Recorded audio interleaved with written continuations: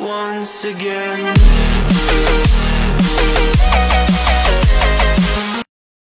I hear your heartbeat to the beat